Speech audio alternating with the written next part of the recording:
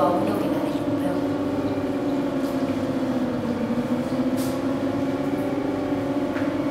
Yo no creo que esa casa nunca. Creo que sí.